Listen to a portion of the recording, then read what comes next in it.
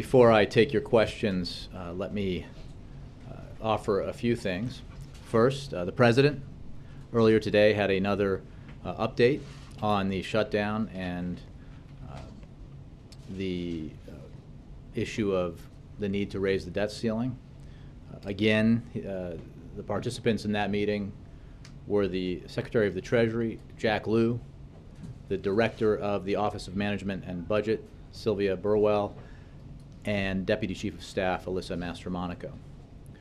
The President, as you know, met with members of the Financial Services Forum. The President and the Vice President did, and I think you had an opportunity to uh, hear from some of them at the stakeout not long ago.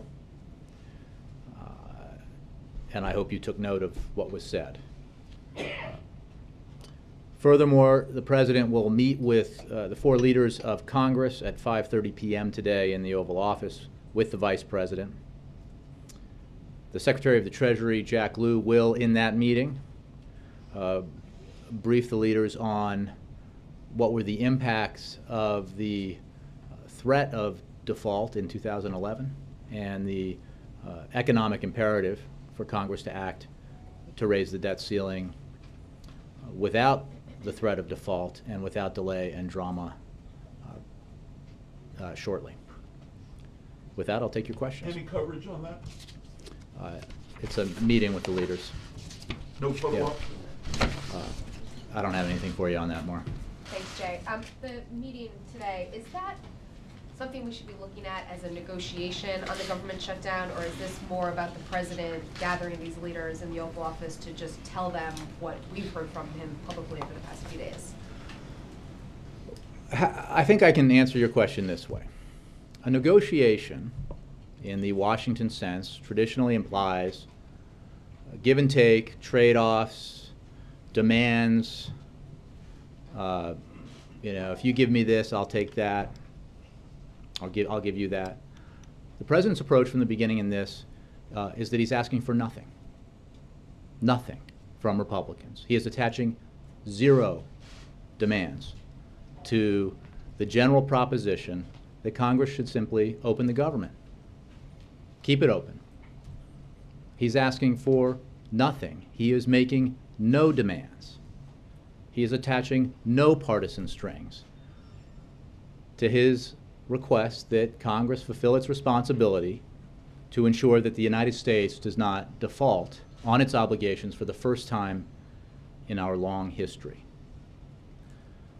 So in that sense, no, the president is not going to sit down and start asking for puts and takes. He's not going to engage in that kind of negotiation because he does not want uh, to hold or have held the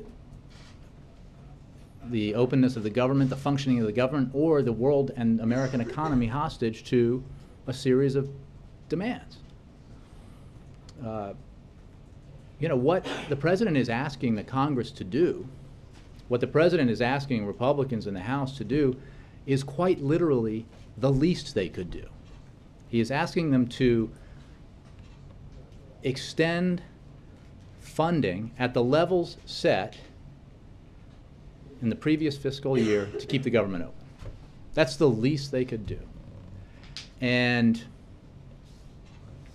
the Speaker of the House should hold a vote on that proposition and see what happens. If he's convinced that a majority, that all of his Republicans in his conference will vote no to opening the government, to a clean CR in Washington speak, to just a bill that opens the government and funds it at the levels that it has been funded for the previous year, uh, then, then we'll see what we do then. But my guess is, and the estimation of numerous observers and members of Congress of the Republican Party, is that if John Boehner, the Speaker of the House, who has this power alone, put on the floor of the House a bill to fund the government, to open it up, without partisan strings attached, it would pass overwhelmingly. I think you know that's true. I think every member of Congress knows it's true. Uh, and it reflects the simple fact uh, that unfortunately, the Speaker won't do that because he is uh, responding to the demands of one faction, of one party, in one house, of one branch of government. And everyone is paying the price of that decision. So that position of the president is pretty well known at this point. So if he's not uh, budging off of that going into this meeting, what's the purpose of having the congressional leaders here? I- I- Look, the president said, uh, and he is true to his word, that he would be having conversations with the leaders of the Congress about the essential need to keep the government open, or now in this case, to reopen the government, and to uh, ensure that we do not default. Uh, And he will have that conversation. And, uh, you know, we, look, we all realize, he, you know, this has put the Republicans, you know, they've gotten themselves in a box here in the House, and it's put them in a uh, difficult position, and they're under a lot of pressure, a lot of it applied by Republicans. Uh, And there's a simple way out. Do the Democratic thing. Pass a bill. See if it can win a majority. Put a bill on the floor, see if a majority votes yes. Be surprised and delighted by the fact that a number of your own Republicans would vote yes.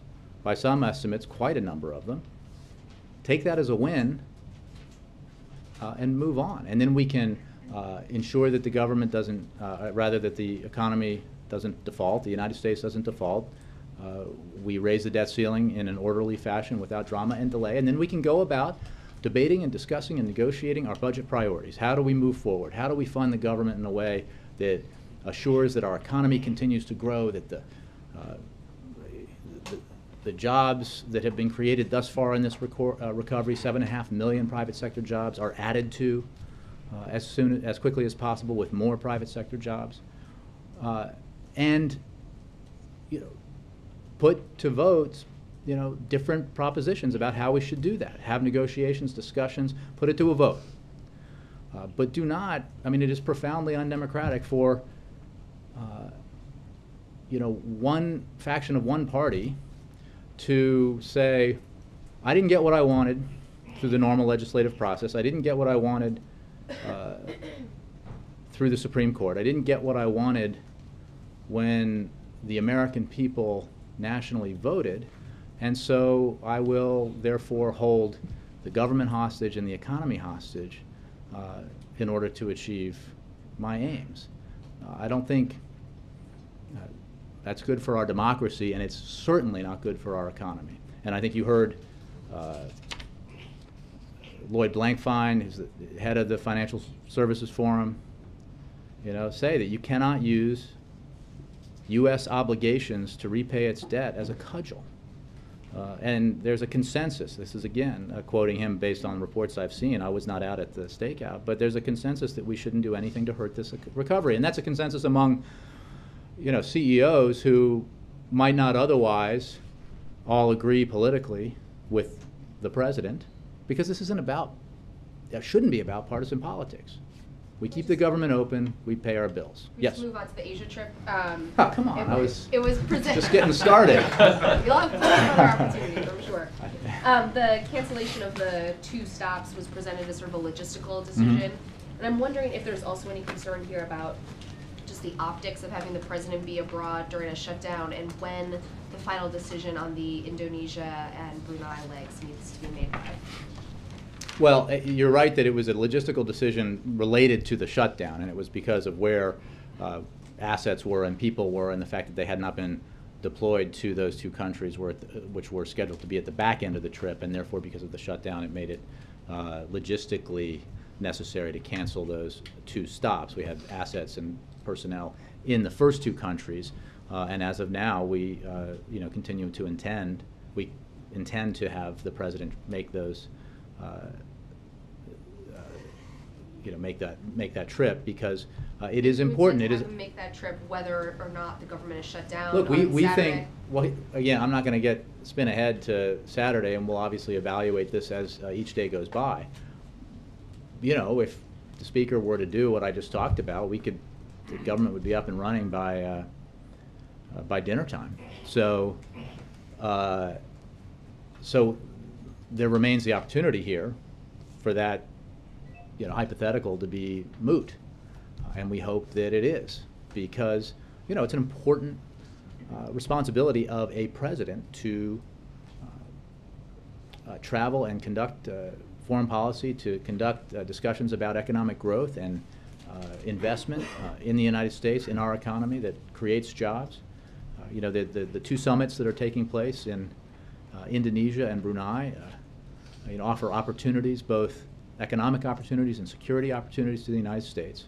Uh, And that's why, uh, you know, a trip like this for any president uh, is useful and important to the American economy and the American people. So uh, I can't give you a prediction about what things will look like Saturday, except uh, to say that I hope, you know, the majority has an opportunity to speak in the House of Representatives. Yes? Jay, why did the president wait until the second day of the shutdown to call this meeting with congressional leaders? the second day. Well, he spoke with the speaker uh, not long ago. He's made clear his views. Uh, you know, what we've seen over the past 10 days is the Republicans being quite involved uh, with their own internal politics and, you know, with uh, digressions in the Senate and, uh, you know, uh, dictates from one body to the other about what the proper course of action should be.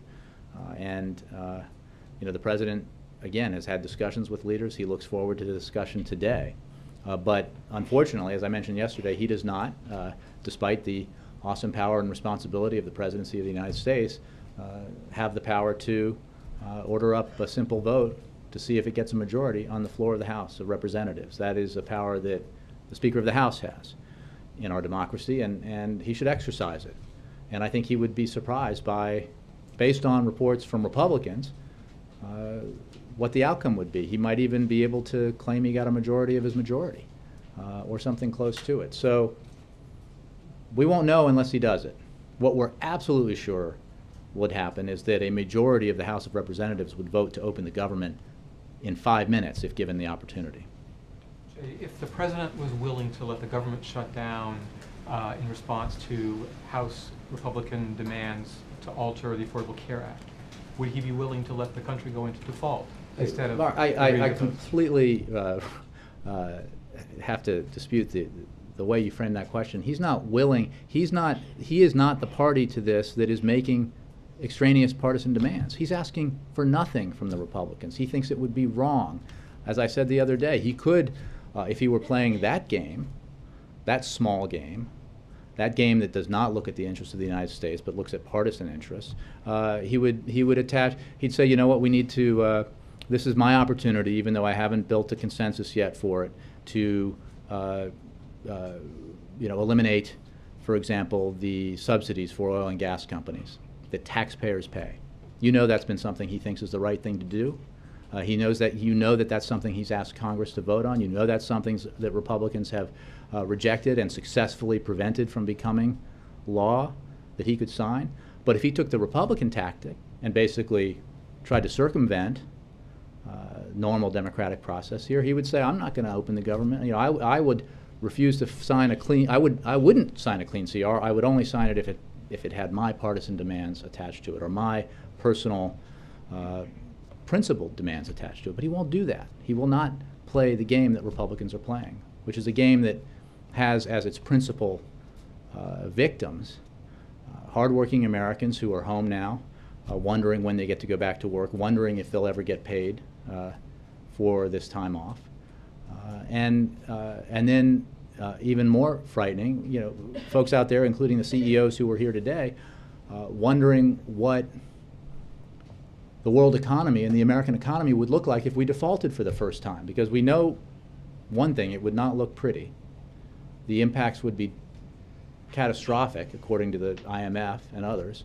Uh, but uh, since it's never happened, uh, we don't know quite how catastrophic it would be. And we do not, we do not want to, and we should not even contemplate uh, trying to find out.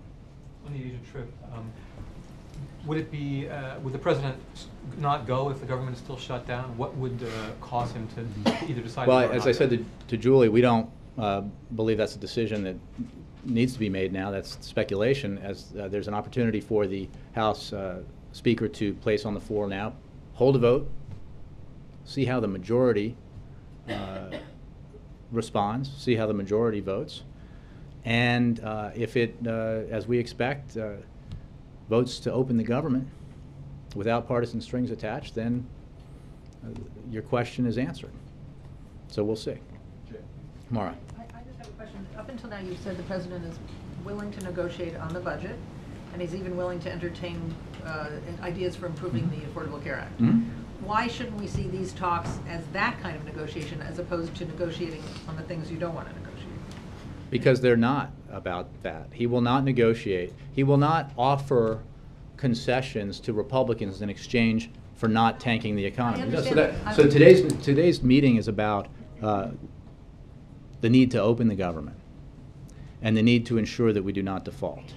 And the president's made clear that he will, uh, that he is happy and willing, as he has been all year round, all year long, uh, to engage in serious uh, conversations and negotiations with Republican lawmakers who want to find common ground on our budget challenges. Absolutely willing to. What he is not willing to do is uh, negotiate uh, under the threat of default or under the threat of continuing to shut down the government. Congress has a responsibility to open the government. Again, there's, the Republicans have had ample opportunity to uh, repeal, defund, delay, dismantle, undermine the Affordable Care Act. Ample opportunity, and they have taken advantage of that opportunity and voted, I've lost count, 40 plus times. Each time they have not succeeded. Uh, but, you know, hope springs eternal, I guess, and they can keep doing it. But, but one way to do it, as I think you know some people wrote about today, is to continue to argue your case, take it to the people, see what they say when they vote uh, in the next election, see what they say when they vote in the next presidential election, uh, and then pass legislation.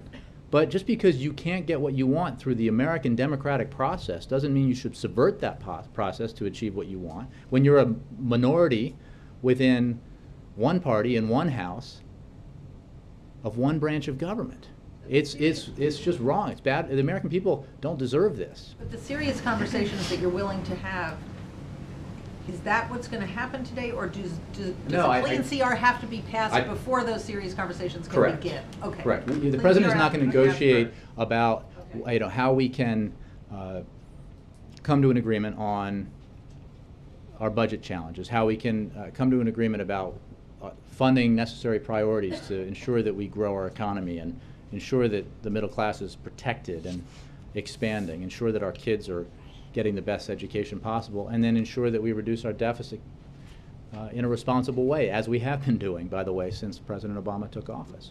Um, you know, that's that the president has been willing to do that all year long, and he has reached out, as you guys reported on uh, repeatedly, uh, to Republicans who have been. Uh, at least uh, who suggested they were open to finding that common ground, who, who suggested they were open to making the same kind of compromises that the president proved he was willing to, willing to make. Uh, but he won't negotiate on behalf of the American people uh, and the economy. He will not uh, negotiate uh, under threat of continuing to keep the government shut down or defaulting on our obligations for the first time. It is, you know, the pre- precedent here when it comes to default would be monumental and monumentally bad for the future of the American economy. Uh, imagine what uh, this process would look like if every time the debt ceiling needed to be raised, a minority of uh, one party's representation, if one house, could dictate to the president of whichever party demands they couldn't achieve through the congressional process, the legislative process. And if they didn't get what they wanted, they'd, they'd tank the world economy.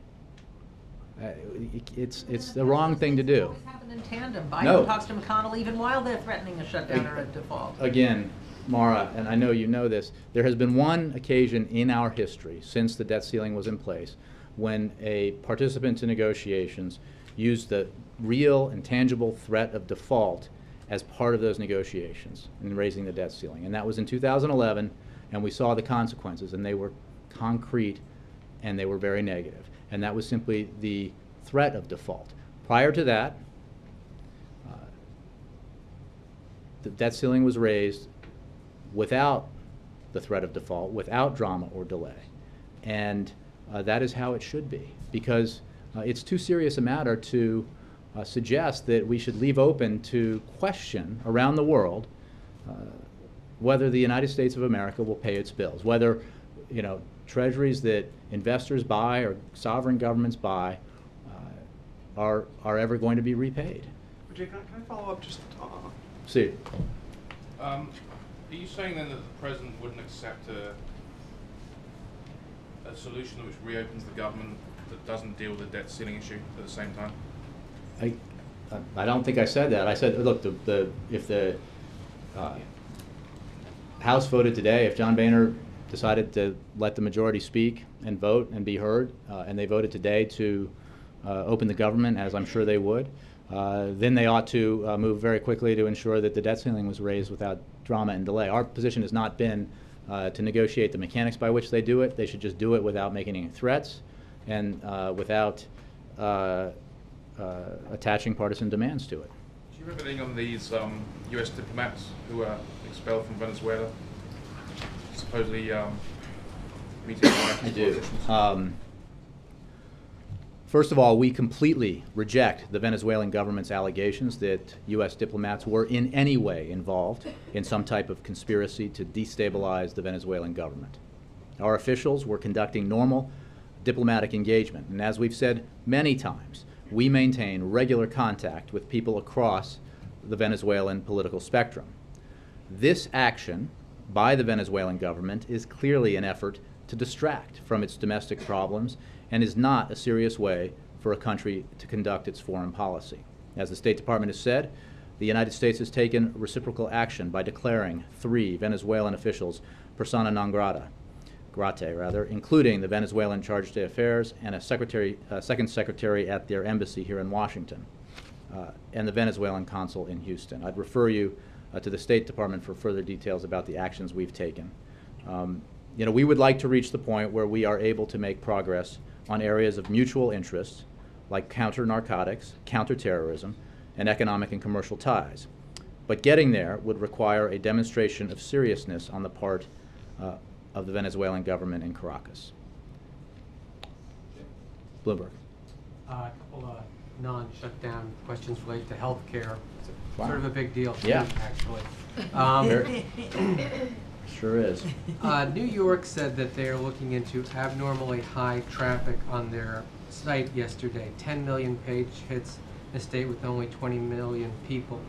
Is there any evidence or concern that either state or federal exchanges have been the victims of hacking campaigns, perhaps in an attempt to stymie them or Oh, I, I have not heard that. I mean, I would refer you obviously to New York for whatever uh, they may be looking at and to HHS. I mean, I think uh, what we uh, are confident of is that the high volume we've seen around the country, the 4.7 million unique visitors uh, in the first 24 hours to healthcare.gov, uh, reflects the uh, extreme interest in the opening of the marketplaces and the opening of the opportunity for individuals to shop for and select affordable health insurance for the first time. So, uh, you know, it's, uh, I said yesterday, it's a first-class problem. There's no question that uh, the volume was so high and continues to be so high that uh, that has, uh, you know, caused some delays. Uh, but it is related to, th- those delays are, in our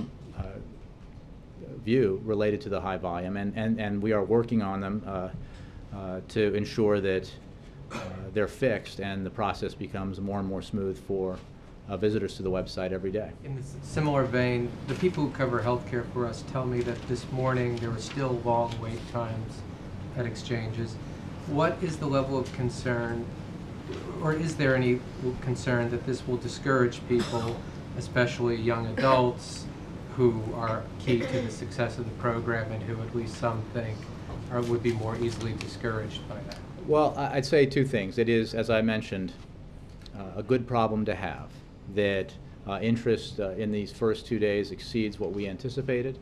Uh, And, uh, you know, we have uh, an extremely competent team that developed a very user-friendly website, and they are working on these problems every day, and the, and the process gets improved every day. It's important to remember, in answer to your question, that this is a six-month process and we're in the second day. Uh, There uh, are something like 180 days left uh, for people to enroll. And anybody who experienced difficulties or delays in getting on the site yesterday or browsing or enrolling should know that they can enroll any ni- anytime from today through December and still uh, have their insurance kick in on January 1st. That's when, that's the earliest that insurance will kick in. So for these first several months, when people enroll, they are enrolling uh, for the opportunity to have their insurance available on January 1st. And then the entire enrollment process lasts six months. So uh, we welcome the interest. We think it's a reflective of the fact that there are millions of Americans out there who want uh, better options, more affordable options for health care coverage, and uh, the Affordable Care Act is providing that, and these marketplaces are providing it. I mean, I, if you're an individual and you're looking at these, you're going on to healthcare.gov and you check out the, the plans available in your state for you, uh, there are on average uh, more than 50 options. So take some time to review them, and everyone should make a considered choice about what plan is right for them and what plan fits their finances and what subsidies are available to them if they have low incomes. Uh, and uh, you know that's how the process is supposed to work. And I think it's worth noting that this is what, at least putatively, this fight is about. Right? Shut down the government, they say, the House Republicans, if you don't deprive these 4.7 million Americans who at least had an interest in healthcare.gov in the first 24 hours, and the millions of Americans who have the opportunity to purchase affordable health care, health insurance for the first time of that opportunity. That's their position. And this has been litigated and debated. I saw one senator, one well-known senator of the Republican Party, who said, uh, you know, Obamacare hasn't been debated. I don't know where he was uh, when this debate went on for months on Capitol Hill. Uh, and it has, since passage, of course, continued and been the subject of uh, election debates and uh, legislative actions and judicial actions and Supreme Court action. Uh, So I think it's been debated. And it is certainly entirely appropriate and fine with the president and the rest of us, rest of us if opponents of Obamacare want to continue to press their case through the normal legislative process. And, uh, you know, that's how our democracy works. You, you ha, you take a position, you, you try to get that position adopted by as many people as you can in your legislative body, and you see if you can succeed in changing the law. Uh, and if you can't, uh, you go back to the drawing board. You can try to continue to build support for it. You, and then you have more elections, and you try to have more people who see it your way elected. And then you try to have a president who sees it your way elected. That's how it works. But just because you didn't get what you wanted at the polls, and you didn't get what you want out of Congress, and you didn't get what you want out of the Supreme Court, it is not the right thing to do to then say, well, then because I have this unique power and influence over my speaker, I'm going to tank the economy. I'm going to shut down the government. Uh, that's what they're arguing. That's their position, and that's why there is so much heat on Republicans now. That's why there so much of the story we're seeing now is uh, Republicans saying this is uh, bad for the American people, bad for the middle class, bad for the economy, and bad for the Republican Party. Kristen. Jay, thanks. Going back to this meeting, if the president's not going to negotiate, as you have said, what will he say or what can he say today during this meeting to move this process forward and try to break this stalemate? He will, uh, I'm sure, uh, express uh, what I have just expressed, which is his uh, concern about the impacts of a shutdown, his concern about the devastating impacts of even the threat of default, uh, and the uh, catastrophic impacts of uh, default itself. And he will, I think, ask uh, the leaders to consider uh, the fact that he's making no demands of them in this process. He's attaching no uh, demands to uh, any pro- proposed legislation that would open the government at current levels. Like these are not these are not levels that the president set or that the president asked for. These are current levels of spending, no increases, and then he's asking for uh, the Congress to simply uh, authorize the Treasury to pay the bills that the Congress has already charged. I mean, this would be like on default, uh, and I've thought about it, this a lot lately. You make a purchase on your credit card. The moment you do that, because you have a contract with the credit card company, you have incurred debt. The bill comes due in a month. And if you don't pay that bill, you have defaulted. But in paying that bill, you have not incurred new debt. You are simply paying what you owe. And Congress has authorized uh, spending, both through uh, annual discretionary appropriations and through mandatory, mandatory programs. And because of those legal obligations that Congress has established, uh, we have debts that we must pay. And Congress is proposing, the House Republicans are proposing, that if they don't get to take insurance away from millions of Americans, they won't let the United States pay their, its bills. But Jay, the president's made those arguments and the process hasn't moved forward, so I guess the question is, what's going to be different about this Again, we can't force uh, House Republicans uh, to vote the way we think they should. Uh, We, uh, the president can, and he will, uh, make the case for why it's the right and responsible thing to do. He will make clear to them, and his willingness, his year-long willingness, his presidency-long willingness to sit down and try to find compromise with Republicans on budget priorities and ways to reduce our deficit in a responsible manner. And, uh, but he won't, you know, he won't allow the American economy and the American middle class to be held hostage to the partisan demands of a minority within one house of one branch of government. Jay, is it appropriate for the president and members of Congress to still be getting paid while eight hundred thousand workers have been furloughed? Look, the law stipulates how this works. Our view is the government ought to be open. The government ought to be open. step forward and say, I'm going to withhold my pay while Well, let's, this let's, let's be, shutdown let, continues. let- let's be and- clear about how, I mean, it's important to understand, this is not, uh, like the furloughs caused by, uh, you know, in, in previous issues. People who are accepted and are working are not paid, uh, but they are guaranteed that they will be paid. Uh, You know, elected members, I believe, are guaranteed that they will be paid or are currently being paid by law. Uh, Then there are those who are being uh, furloughed across the government.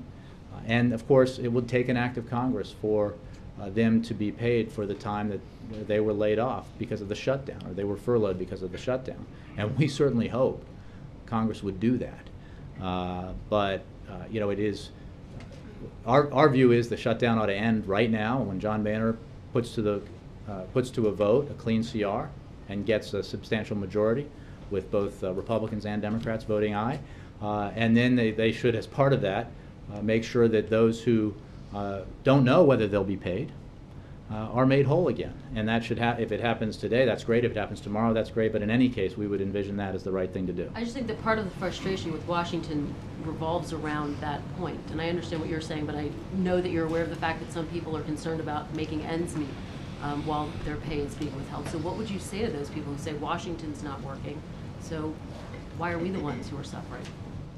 Well, I would say that that's why it's so important for Congress to do the right thing and attach no partisan demands to a simple vote to open the government and ensure that uh, those hundreds of thousands of hardworking Americans, neighbors and fellow worshipers, you know, friends who are on the sidelines of our kids' baseball and soccer games, uh, you know, have the security of knowing that the paycheck is coming.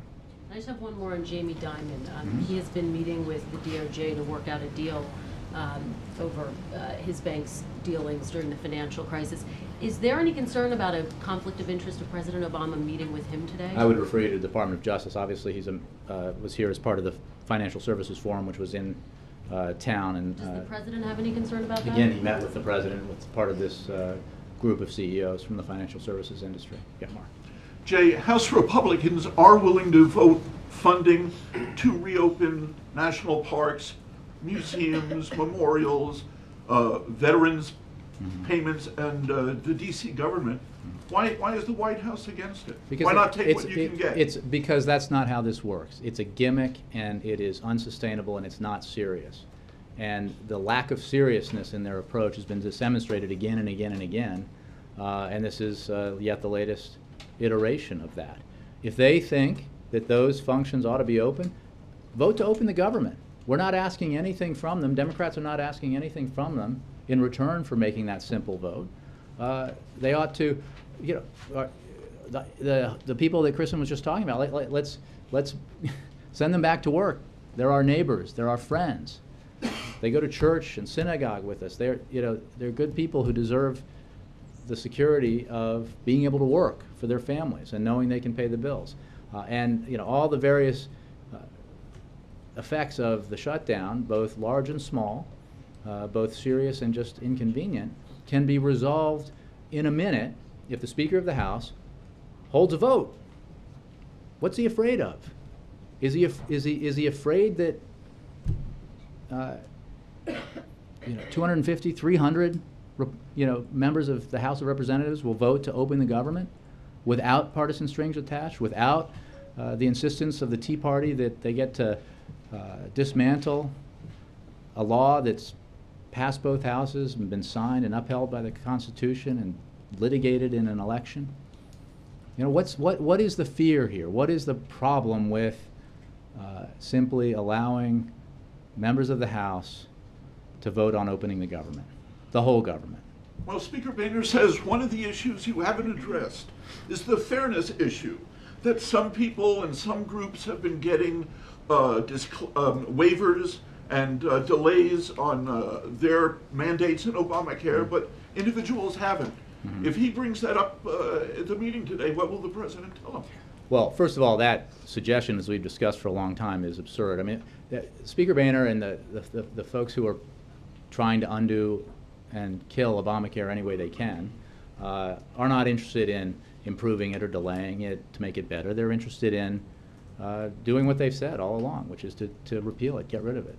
Uh, there's that. But the fact is, uh, the Affordable Care Act is here to stay. It is being implemented as we speak. For the past three years, the benefits of the Affordable Care Act have already been felt by millions of Americans, by seniors, by families who have their, uh, you know, kids up to the age of 26 now on their insurance policies, by, uh, you know, millions of Americans who have gotten rebates from insurance companies because of the provision within the Affordable Care Act that uh, makes it the law that these insurance companies uh, spend a, a certain percentage of those premiums on health care and not on uh, CEO salaries and advertising and other administrative costs. So, uh, you know, you know that's a ruse. We know that's a ruse. The president is certainly interested in having discussions about how to improve the Affordable Care Act to make it better as it provides insurance options for the first time to millions of Americans.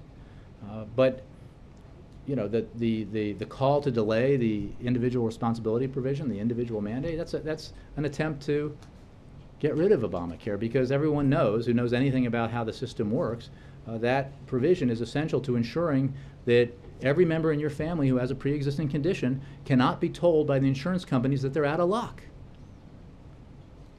Remember the consequences of this policy position, and, and we can debate it, and we should, in elections and in, on the floor of the House and Senate through the normal means. Uh, but it is completely inappropriate to try to get what you could not get through the normal democratic process uh, by threatening the faith and credit of the United States uh, or threatening to keep the government shut down. Jay, did you not open the door, though, to that piecemeal approach that Mark is referring to when the president signed into law allowing men and women in uniform to be paid while this happens? Now the Republicans are saying, well, then why not also pay out veteran benefits and other things? You did open the door at least a little bit to some people being paid. The president believes, as obviously uh, virtually everyone in Congress believes, that our men and women in uniform uh, need the uh, reassurance that we here in Washington have their backs, and just like they have ours. Uh, and that is why uh, he signed that bill. There is no question that there is there are problems created by the government being shut down. There is no question that there are inconveniences and real hardship. And if Republicans are sincerely concerned uh, about those problems, they have an option here, which is to vote to open the government. Full stop. Just do it. Don't, you know, you know the, the, the, the theatrics and the, uh, you know, the gimmicks only cause delay when the option is available to put a simple bill on the floor, it keeps the government open at spending levels set uh, in the previous fiscal year. So they didn't shut the government down over those spending levels a week ago. They didn't say a month ago, this is unacceptable, we're shutting it down. So why this week? Why, why are the spending levels from last year suddenly so unacceptable that they'd shut the government down with all the negative consequences thereof? Because they are on an ideological crusade, and because the party has been hijacked by uh, a faction within it. And I say that quoting Republicans. I say that uh, not to score a point, but to make an observation that I think is widely held here by people of both parties and people who are independent observers. And it's and it has a, a negative impact on the normal functioning of our democracy. When you talk about theatrics, one of the flashpoints in this has become what happened yesterday, and it's something that played out again today, apparently at the World War II Memorial here in Washington. Rather than just airing, there's allegations from Republicans that the White House, you know, broadly speaking, somehow ordered this, put up barricades to prevent veterans from getting there. Rather than going through all of that, Mhm. can you please tell us from the podium what is your version of what happened? The government shut down Okay. when the House Republicans decided to shut it down. And And every House Republican who has decried any impact from this shutdown, as if they were surprised that it would happen, uh, clearly didn't pay attention when every agency of the federal government posted on their websites on Friday what would happen if the government was shut down, including the closing of national memorials and national parks. Uh, I mean, on the very e- night that they voted to shut down the government, some of the most vocal uh, cr- critics of this particular matter were quoted saying, We got what we wanted. Well, apparently you did. Look, we honor our World War II veterans, and I would point you to uh, you know, the decisions made and the actions being taken by the Department of the Interior and the National Park Service to ensure that these honor flight participants are able to have access to that memorial.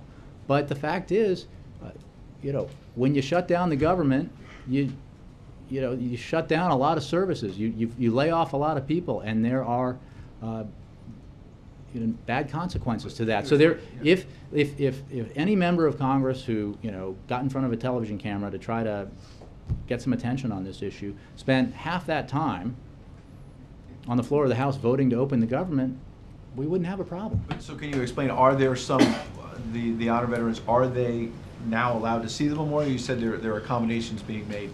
If on one hand you're saying, look, the government shut down, tough luck, the Republicans haven't voted to open it, but then on the other hand, you're saying we are making accommodations, what is really happening then? Well, Department of the Interior and the National Park Service obviously are the sources for more specific information. But uh, the DOI has made an accommodation uh, for the honor flights and will grant access to the World War II Memorial.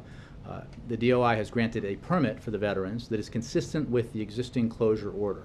DOI will remain in contact with the Honor Flight Organization to ensure that veterans scheduled to travel to DC are provided access to the memorial, memorial rather.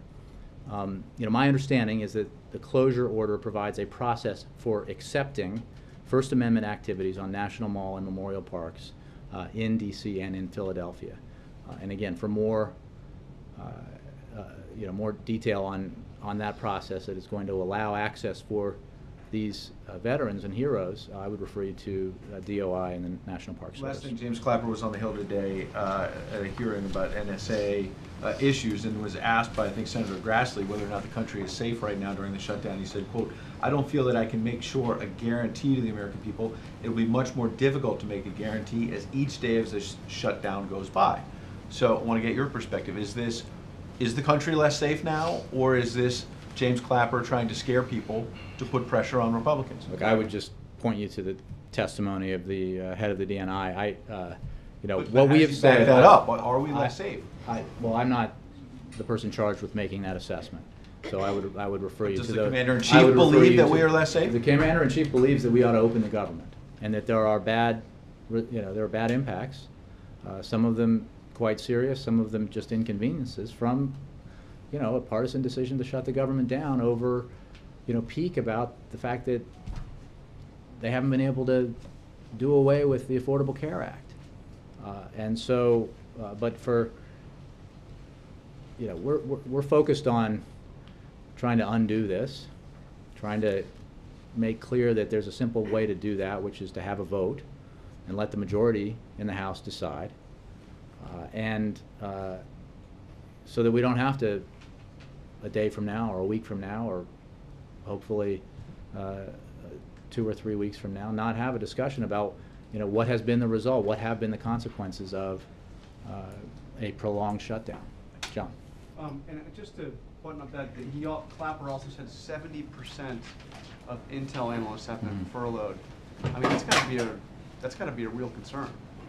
Well, mean, again, a- I. a- a real national I don't, you know, every agency is, has uh, provided information, as I understand it, about what happens with uh, a shutdown, and, and, uh, you know, I would refer you to each agency, and again, for those agencies to make assessments about what the immediate effects of shutdown are. I, you know, I don't, I don't have any more in- information on that than certainly the uh, director provided.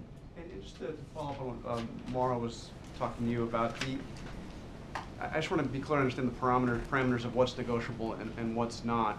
Mhm. Um, The president would be willing to negotiate on a year-long budget, right? I mean, so if, if, if we went in, if, if, if this negotiation, members of Congress, co- congressional leaders coming in here, uh, were to negotiate a, a year-long budget, the rest of the year, not none of this six-week stuff, but a year-long budget, I assume there'd be some give and take.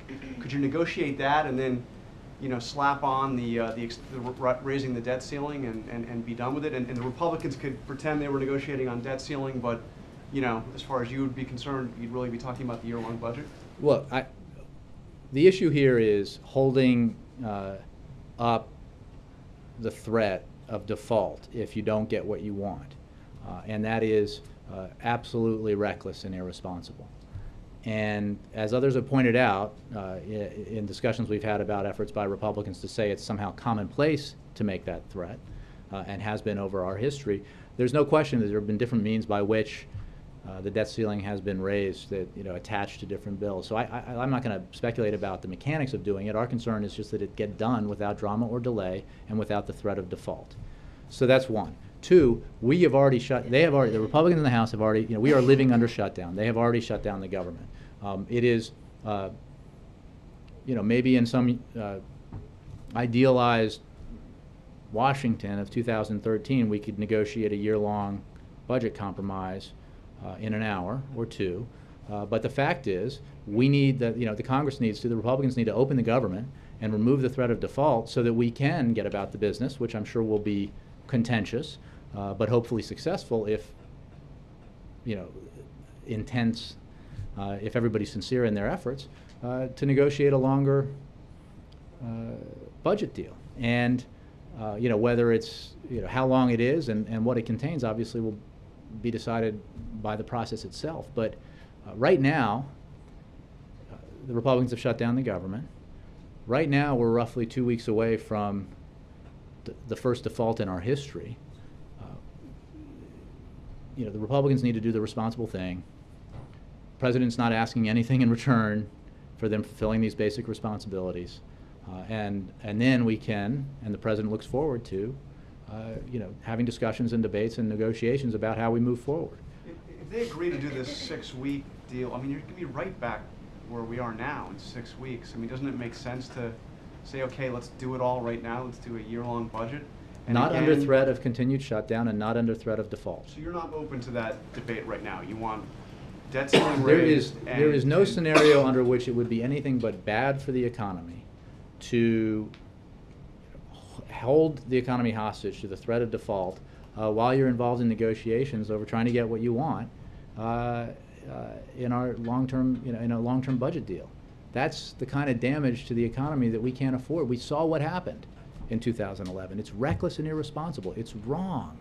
And the only, like, you know, the sad part of it is, is that, you know, obviously there are some members on the Hill who think it's good for their personal politics, it's good for them in their districts, uh, and that's all they seem to care most about.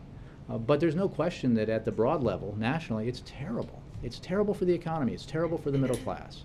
Just to be crystal clear, we should not consider today's meeting a negotiation.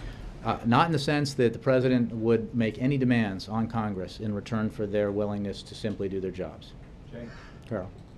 I just want to clarify two things. Um, so the president's position is he won't negotiate on, the- around the CR, and that the Congress, the House has to pass a clean CR, and then he'll be willing to negotiate. But then, he also won't negotiate on the debt ceiling.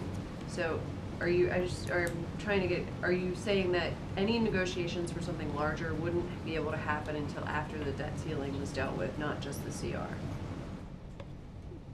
I mean, again, how this plays out obviously depends on the actions that the Congress takes, but it is absolutely the president's position that, you know, he won't negotiate uh, under threat of default or continued shutdown of the government, uh, you know, budget priorities, because the Republicans are interested in holding the economy hostage and the middle class hostage to try to achieve through that process what they could not achieve through uh, Congress in the past, through the courts, or through the ballot box. Uh, and uh, having said that, the president is and has been and has demonstrated that he is uh, willing to have negotiations about you know what we should, what steps we should take to fund our government in a in a way that allows us to invest in the future, protect the middle class, uh, you know, attract businesses to the United States, and reduce our deficit in a responsible and balanced way. And, and the proof of that willingness is in the budget that he proposed, which everyone here acknowledged when you covered, I believe, well, there are probably a few people who didn't, but almost everybody here acknowledged when he released it, was a serious document that represented compromises, that wasn't, uh, you know, a wish list of partisan priorities, but was a demonstration of the president's willingness to try to meet Republicans uh, on common ground. And, you know, he hopes that Republicans will, uh, you know, meet him there, uh, but he's not willing to negotiate uh, over, uh, you know, Republican demands to collapse the world economy if they don't do away with affordable health insurance for the American people. Right, so it's fair to say that the president will not sit down and have those larger negotiations until there's a clean CR and a debt limit increase. Again, I think it's fair to say that the president will not negotiate over uh, Congress's responsibility to pay our bills. That he won't, and he will not make any demands of them. I mean, I think that is like you know you got to you got to look at, turn the prism a little bit here, because the only party here that's making demands associated with opening the government, the only party here that's making demands associated with paying our bills, is is the Republican Party, and more narrowly, the Tea Party. Uh, President is not asking for uh, Republicans to, uh, again, do away with the uh, tax subsidies, the tax breaks that the oil and gas industry get in return for opening the government. He's not asking them to, um, uh, you know, pass background checks, uh, something he believes passionately and in a principled way is the right thing to do, but he does not believe that uh, the right way to achieve that goal is by holding the economy hostage. Right. One other thing on James Clapper, he said that the shutdown seriously damages our ability to protect the safety and security of the country. And separately from believing that the House should pass a clean CR, is the White House looking to take any steps to address this particular concern? Again, as I said earlier, this, the experts in all of these agencies can address what the impacts are of uh, the shutdown. I mean, the president has said that national security, the security of the American people is his number one priority. It is. So if you have James Clapper saying that the current shutdown seriously damages the What the president the is highly confident of is that if John Boehner were to allow a majority to vote on a clean CR, or to allow the House to vote at all on a clean CR, to open the government this afternoon, um, there would be no more negative impact. Isn't that impacts. essentially saying that his top priority is actually the shutdown and not the national, the national security of the country? No, it's not. And the president is, of course, taking every step necessary as president to ensure the security of the American people. Uh, You know, there are consequences to shutdown, and they extend far beyond, uh, you know, closures of parks and memorials or, uh, you know, other, other things that we've heard a lot about. And they, they affect those hundreds of thousands of people who have been furloughed and aren't getting a paycheck and don't know if and when they will. Uh, And that, uh, that's bad for the government, for the normal functioning of government. that provides services to the American people around the country, and it's, and it's obviously bad for those families. Jim? So if the president is going to stick to his position, and the Speaker of the House is going to come over here and stick to his position, what's the point of having a meeting? Well, uh, the, you know, the leader, the Republicans, you know, keep saying they want to negotiate, they want to meet. Why isn't the president meeting with them? He is meeting with them. He has called them. Uh, he has again met with and spoken with Speaker Boehner uh, quite a bit during the time that John Boehner has been Speaker of the House. Uh, often, uh,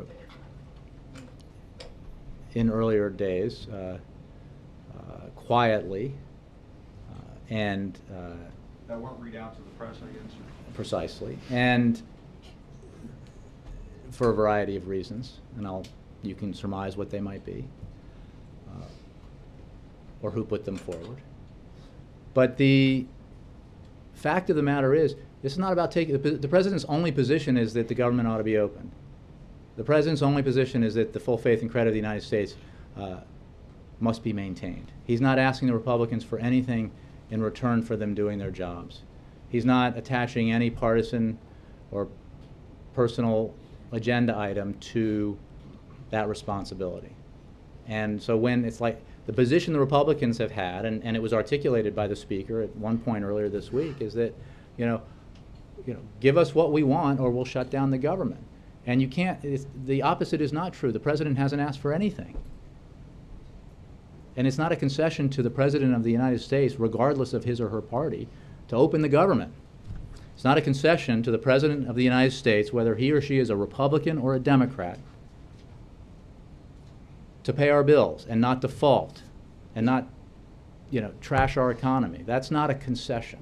And is it possible that what we might see happen over the next week or so is that essentially a continuing resolution will be packaged together with an increase to the debt ceiling? I mean, is that sort of the deal that potentially could happen in the coming days? Is that something that might be discussed this Uh, afternoon? Again, I'm not, I, I, it's gonna speculate about how Congress goes about ensuring that we don't default, except to say that they have to get about the business of ensuring that we don't default. That sound like a good thing to the president, though, something like that? Again, I'm not gonna, uh, again, the, the mechanics of how they do the right thing, uh, I'll leave to them as long as they do the right thing. And the right thing is not to threaten default. And to follow Kristen's question uh, about the president's pay, uh, the Attorney General, Eric Holder, said he would cut his own pay earlier this week. Why doesn't the president just do the same? Again, I'd like, I, obviously, individuals can make decisions, and I don't have anything for you on, uh, on the president at this time, but I think it's important to understand that, uh, when the shutdown happens, there are accepted employees who have to work, and they are guaranteed in the future that they'll be paid for that work. And then there are those who are furloughed, and they will not ever get paid unless Congress acts to, you know, for the time that they were uh, furloughed, unless Congress acts, as I understand it, unless Con- Congress acts, as it has in the past, in previous shutdowns, I believe, uh, to uh, make them whole. But, uh, so it's a little, it's a little different from, for example, because of the uh, sequester and the furloughs associated with that, where people took, people who uh, were accepted and had to work but took pay cuts uh, that were mandated as part of that. And on the Asia trip, just very quickly, uh, the president and uh, President Putin, who will be out in Asia for this trip as well, uh, in Bali uh, for that summit, I was just curious, the president and President Putin have had this sort of almost debate over American exceptionalism in recent weeks. What does it say about American exceptionalism? The president goes overseas while the government is shut down and is at the risk of defaulting on its debts. Again, the, the government is shut down today by a simple decision of the Speaker of the House to allow the House to vote to open the government. It could be open tomorrow. Uh, so, you know, you're throwing out a hypothetical that we don't know will come to pass. And as I said earlier in answering questions about uh, the president's trip and the scheduling changes to it, you know, we'll evaluate uh, the rest of the trip that's still on the schedule uh, as each day goes by. Thanks, Jay. David, last one. Jay, a couple on immigration. Um, the White House endorsed the Senate's comprehensive immigration bill. As we all know, you've been urging uh, Speaker Boehner to bring that forward for a vote and saying it would pass if it was voted on in the House floor. Uh, today, House Democrats introduced their own version of a bill that stripped out a lot of the strongest border security language out of that. They're saying it's time to move in a different direction, try to uh, you know, gain traction on a different kind of plan. I'm wondering if the White House endorses either that, I don't know if you've seen the, that bill, that the House Democrats? I haven't seen that bill. We certainly support uh, passage of the bill that the Senate passed. We support comprehensive immigration reform. As you know, the bill that the Senate, uh, did I say the House? I meant the Senate, that the Senate passed. Uh, The bill that the Senate passed obviously wasn't word for word the way the president would write it, and it, and it contained uh, significant increases in funding for border security and other measures that were aimed at border security. Uh, so much so that I think John McCain at the time said, Senator John McCain, Republican of Arizona, at the time said uh, that anybody who is opposing this bill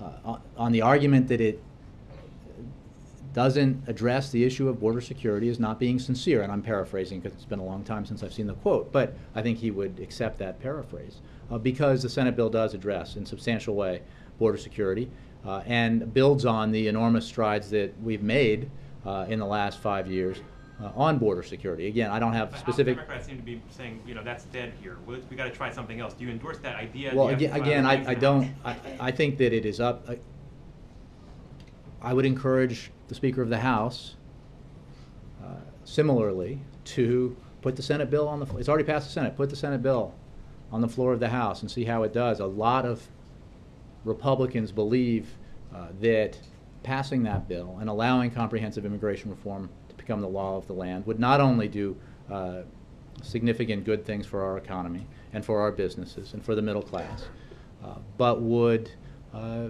do some political good for the Republican Party. I bet if he, I haven't looked at this in a while, but if he put that bill on the floor of the House, it would get a majority and significant numbers of Republicans. So, You're saying the House but I don't want to. not be doing what they're doing? Again, David, you keep trying to ask me about a bill I said I haven't seen. What I should, what I'm saying is, uh, the House ought to pass comprehensive immigration reform. Final thing, uh, just for the, I mean, for the president, though, he, I think he, almost 11 months ago now, in his first news conference after winning re-election, he said, you know, we got to seize the moment on immigration. Is, Mhm. is the moment gone, and is the president going to get back to talking about this in any, you know, substantial way in the next? I- The moment isn't gone. We saw remarkable things happen in the Senate. We saw a substantial bipartisan majority pass comprehensive immigration reform that meets uh, the principles laid out there by the president. Not word for word what he would have necessarily written himself, but it, it meets his standard and he would sign it. And we've called on the House to act. And I think uh, perhaps as the Republican Party sees its, you know, approval in the eyes of the public continue to dip, and Congress sees its approval in the eye of the pu- uh, public continue to dip, that maybe they want to take some action uh, to address that problem. Uh, And once they go about the business of reopening the government, and once they make sure uh, that uh, we will not default in a responsible way without drama and delay, uh, they could take up comprehensive immigration reform and do themselves some good. Thanks very much. Anyone beyond the first two rows?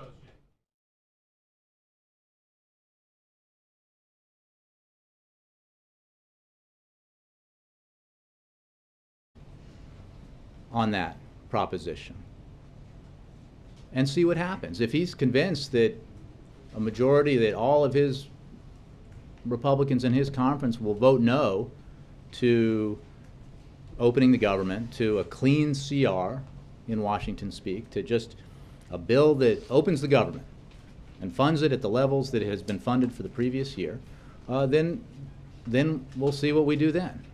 But my guess is, and the estimation of numerous observers and members of Congress of the Republican Party, is that if John Boehner, the Speaker of the House, who has this power alone, put on the floor of the House a bill to fund the government, to open it up,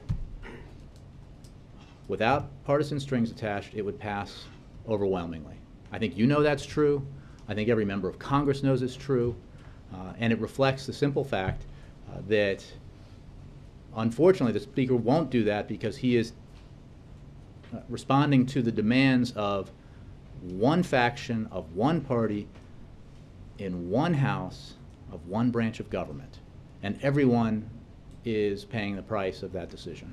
So that position of the president is pretty well known at this point. So if he's not uh, budging off of that going to this meeting, what's the purpose of having the congressional leaders here?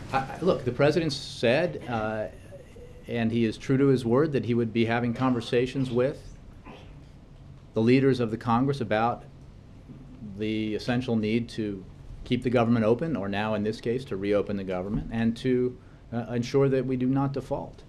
Uh, And he will have that conversation. And uh, you know, we, look, we all realize, he, you know, this has put the Republicans, you know, they've gotten themselves in a box here in the House, and it's put them in a difficult position, and they're under a lot of pressure, a lot of it applied by Republicans. Uh, And negotiation, in the Washington sense, traditionally implies uh, give and take, trade-offs, demands. uh, You know, if you give me this, I'll take that. I'll give, I'll give you that. The president's approach from the beginning in this uh, is that he's asking for nothing. Nothing from Republicans. He is attaching zero demands to the general proposition that Congress should simply open the government. Keep it open. He's asking for nothing. He is making no demands. He is attaching no partisan strings to his request that Congress fulfill its responsibility to ensure that the United States does not default on its obligations for the first time in our long history. So in that sense, uh, no, the president is not going to sit down and start asking for puts and takes. He's not going to engage in that kind of negotiation because he does not want uh, to hold or have held the the openness of the government, the functioning of the government, or the world and American economy hostage to a series of demands. Uh, you know, what the president is asking the Congress to do, what the president is asking Republicans in the House to do, is quite literally the least they could do. He is asking them to extend funding at the levels set in the previous fiscal year to keep the government open. That's the least they could do. And the Speaker of the House should hold a vote. There's a simple way out. Do the Democratic thing. Pass a bill. See if it can win a majority. Put a bill on the floor. See if a majority votes yes. Be surprised and delighted by the fact that a number of your own Republicans would vote yes. By some estimates, quite a number of them. Take that as a win uh, and move on. And then we can uh, ensure that the government doesn't, uh, rather that the economy doesn't default, the United States doesn't default. Uh, we raise the debt ceiling in an orderly fashion without drama and delay, and then we can go about debating and discussing and negotiating our budget priorities. How do we move forward? How do we fund the government in a way that assures that our economy continues to grow, that the, uh, the, the jobs that have been created thus far in this uh, recovery, seven and a half million private sector jobs, are added to uh, as soon as quickly as possible with more private sector jobs, uh, and put to votes, you know, different propositions about how we should do that. Have negotiations, discussions, put it to a vote. Uh, but do not. I mean, it is profoundly undemocratic for uh, you know one faction of one party to say, I didn't get what I wanted through the normal legislative process. I didn't get what I wanted uh, through the Supreme Court. I didn't get what I wanted when the American people nationally voted, and so I will therefore hold the government hostage and the economy hostage uh, in order to achieve my aims. Uh, I don't think uh, that's good for our democracy, and it's certainly not good for our economy. And I think you heard uh, Lloyd Blankfein, who's the head of the Financial Services Forum, you know, say that you cannot use U.S. obligations to repay it. Before I take your questions, uh, let me uh, offer a few things. First, uh, the President earlier today had another uh, update on the shutdown and uh, the uh, issue of the need to raise the debt ceiling. Again, the participants in that meeting were the Secretary of the Treasury, Jack Lew, the Director of the Office of Management and Budget, Sylvia Burwell, and Deputy Chief of Staff, Alyssa Mastromonaco. The President, as you know, met with members of the Financial Services Forum. The President and the Vice President did, and I think you had an opportunity to uh, hear from some of them at the stakeout not long ago. Uh, and I hope you took note of what was said. Furthermore, the President will meet with uh, the four leaders of Congress at 5:30 PM today in the Oval Office with the Vice President. The Secretary of the Treasury, Jack Lew, will, in that meeting, uh, brief the leaders on what were the impacts of the threat of default in 2011 and the uh, economic imperative for Congress to act to raise the debt ceiling without the threat of default and without delay and drama uh, uh, shortly. With that, I'll take your questions. Any coverage on that? Uh, It's a meeting with the leaders. No follow-up? Uh, I don't have anything for you on that, Maura. Thanks, Jay. Um, the meeting today, is that something we should be looking at as a negotiation on the government shutdown? Or is this more about the president gathering these leaders in the Oval Office to just tell them what we've heard from him publicly over the past few days? Ha- I think I can answer your question this way. It's debt as a cudgel. Uh, And there's a consensus, this is again uh, quoting him based on reports I've seen, I was not out at the stakeout, but there's a consensus that we shouldn't do anything to hurt this recovery. And that's a consensus among, you know, CEOs who might not otherwise all agree politically with the president, because this isn't about, it shouldn't be about partisan politics. We keep the government open, we pay our bills. We Yes? just move on to the Asia trip. Um, Oh, come on, it I was It was presented. just getting started. You'll have plenty of other opportunities, I'm sure. Um, the cancellation of the two stops was presented as sort of a logistical decision. Mm-hmm. And I'm wondering if there's also any concern here about just the optics of having the president be abroad during a shutdown and when the final decision on the Indonesia and Brunei legs needs to be made by.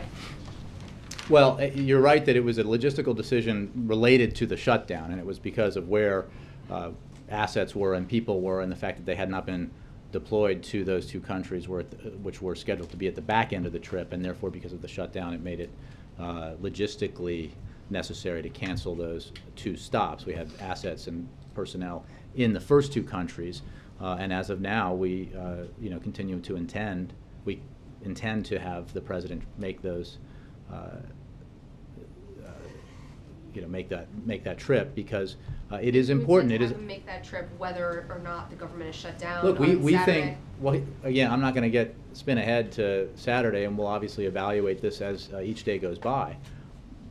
You know, if the speaker were to do what I just talked about, we could, the government would be up and running by, uh, uh, by dinner time. So, uh, so there remains the opportunity here for that, you know, hypothetical to be moot. And we hope that it is, because, you know, it's an important